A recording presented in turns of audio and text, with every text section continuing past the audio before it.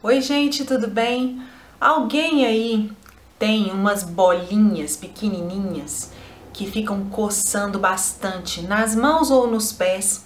Aí você coça, coça, coça, não consegue parar de coçar e elas estouram, soltam uma aguinha, aí fica ferido e arde e dói e você custa a cicatrizar essas feridas. Vocês reconhecem isso? Pois é, isso chama desidrose. É uma doença crônica na pele. Eu convivo com isso há alguns anos. Graças a Deus, minhas crises têm sido bem espaçadas. Mas eu estou aproveitando que eu estou no meio de uma crise agora e estou gravando este vídeo para passar tudo o que eu sei sobre esse assunto, como lidar com isso. E eu espero muito que esse vídeo ajude você que também tem esse problema. Vamos lá.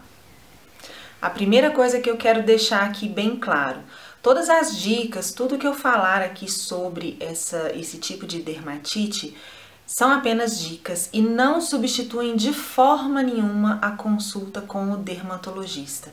O médico dermatologista é que pode realmente dar o diagnóstico para você ver se é esse mesmo o seu problema e passar os medicamentos, porque você tem como controlar, você tem como amenizar as crises, evitar as crises, mas vai ter uma hora que você vai precisar de medicamento.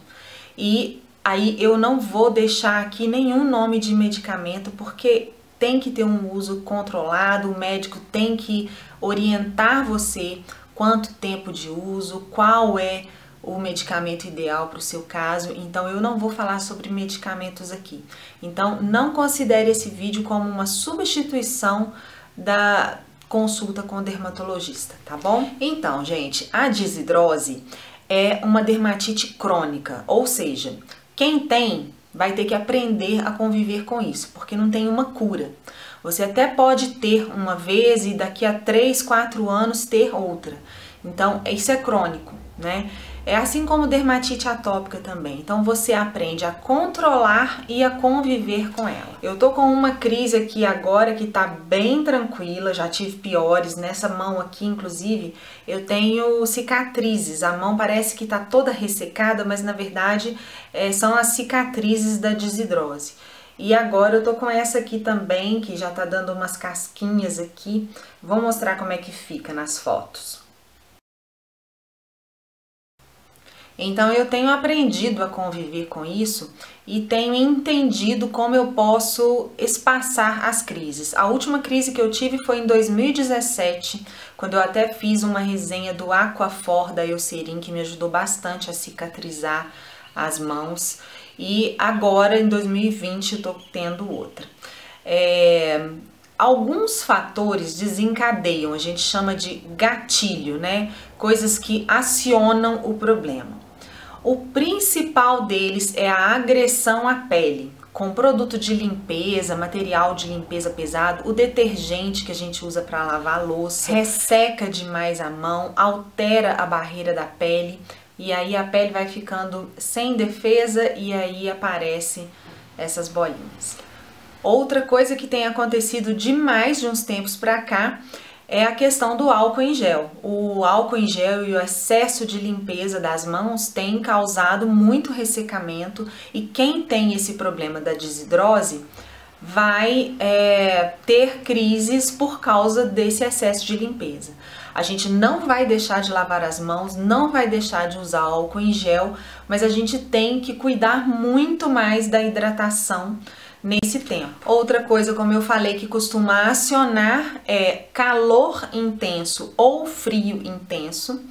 É, e também o fator emocional, o estresse, costuma desencadear demais.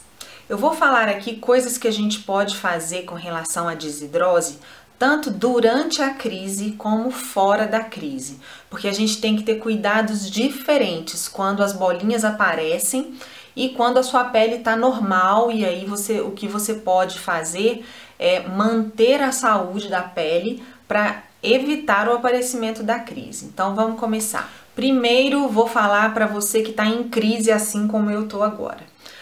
O que a gente tem que fazer é controlar para não coçar. E isso é muito difícil porque a gente coça sem ver. No meu caso, por exemplo, eu coço dormindo.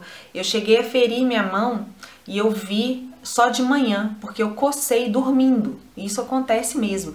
Nos pés, então, quem tem nos pés também costuma coçar dormindo, mas a gente tem que evitar ao máximo ficar coçando, porque é a coceira que leva à ferida.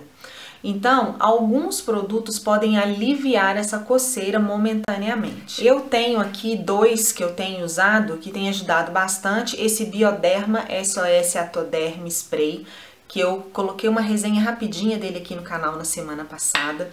E este aqui, o Lipicar Balm AP mais M da La Roche-Posay. Então, esses dois aqui, eles aliviam coceira, eles têm essa propriedade.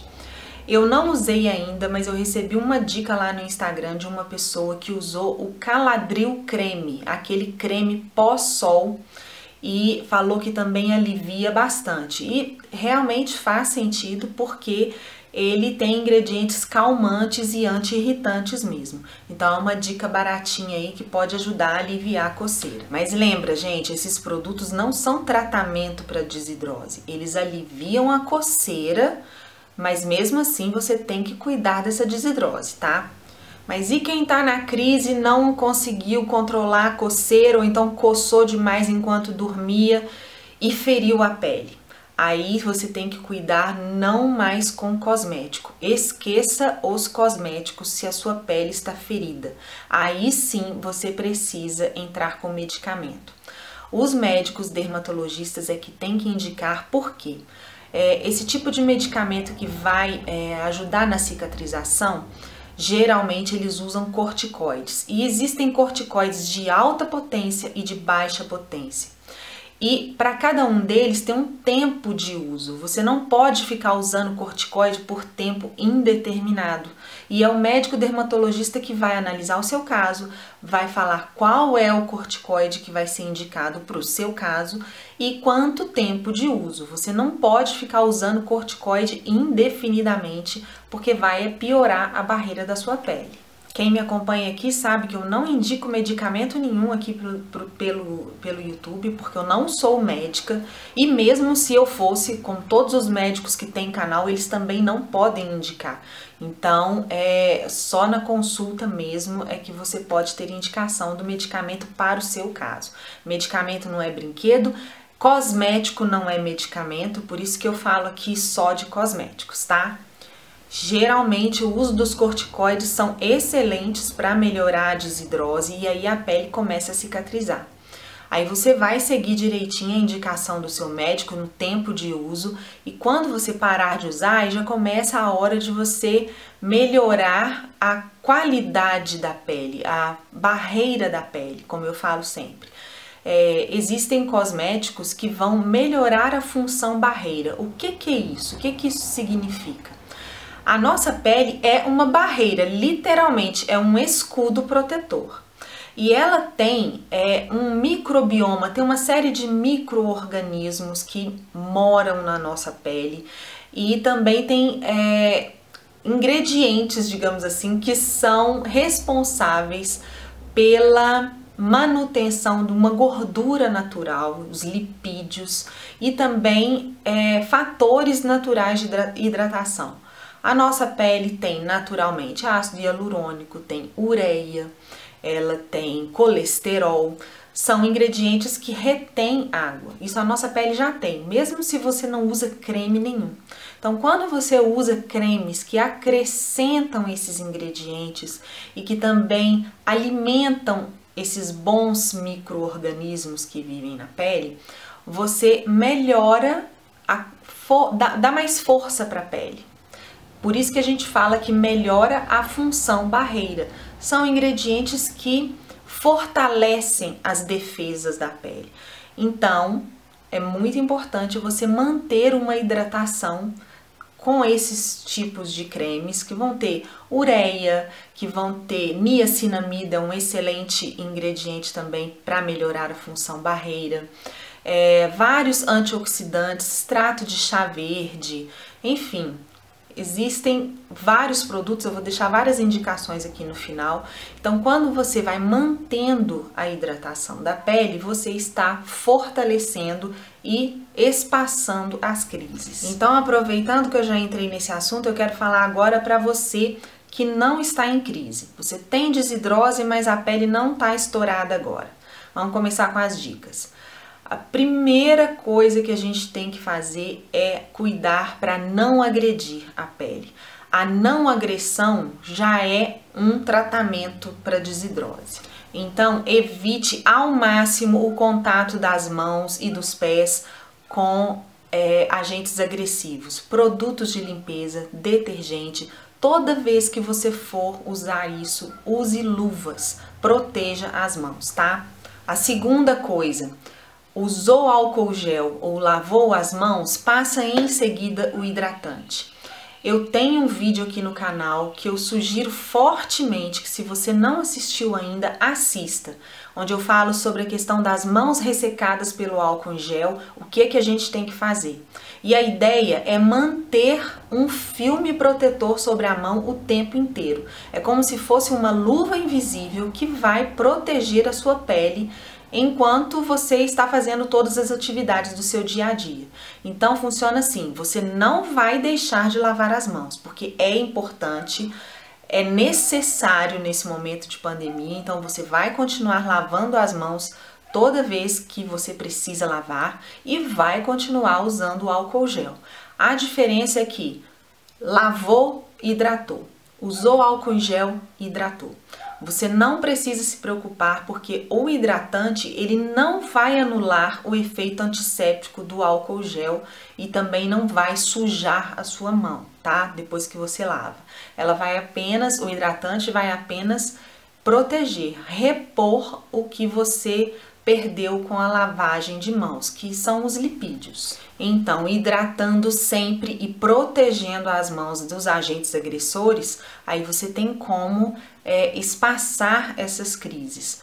No meu caso, gente, a última vez foi em 2017 e antes de 2017 tinha sido também uns quatro anos antes. Eu tinha crises direto, foi no finalzinho da década de 90 e nos anos 2000 eu também vivia com a mão estourada. Tanto é que ela ficou com cicatrizes, né? Mas hoje em dia, com esses cuidados, eu já consigo espaçar bastante as crises, tá? E também, né, gente, vamos cuidar da nossa cabecinha, porque o emocional conta demais. Não adianta de nada a gente só cuidar da pele, cuidar da pele e não cuidar da nossa mente, não tentar relaxar, não, sei lá, fazer uma terapia ajuda. Tem vezes que a gente precisa de ajuda e a gente precisa sim cuidar da nossa mente, cuidar da nossa cabeça. Só para finalizar esse vídeo, eu quero dizer que eu tenho um post no blog que eu vou deixar linkado aqui embaixo, onde eu coloco 41 opções de creme para as mãos. E vocês vão ver que não necessariamente você precisa usar um creme para mãos, tá? Eu até coloco nesse post algumas opções de cremes que são multiuso, que você pode usar em qualquer área do corpo, mas o importante é você escolher um que você possa usar sempre, que caiba no seu bolso e que você não tenha dó de usar, que você vai usar toda hora que precisar sem dó. Então, para o dia a dia, escolha um baratinho, um que você possa pagar e deixa para usar à noite os cremes que são mais caros e que de repente ofereçam um algo mais de tratamento ou de regeneração ou de melhora dessa função. E se você tem esse problema, deixa aqui embaixo, se você quiser deixar as coisas que você usa para aliviar, também pode deixar. É bom que aqui todo mundo lê comentário, um responde o outro e a gente vai trocando ideia. E isso é muito importante. E é importante também para que a gente veja que a gente não tá sozinho. Quando eu falei sobre isso no Instagram, muita gente falou: "Nossa, eu achei que era só eu que tinha isso". Mas não, gente, isso é muito mais comum do que a gente pensa. É muita gente que tem desidrose.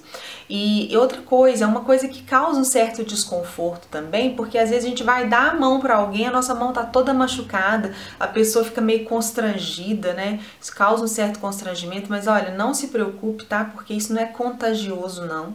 Só é feio mesmo, mas contagioso não é, tá?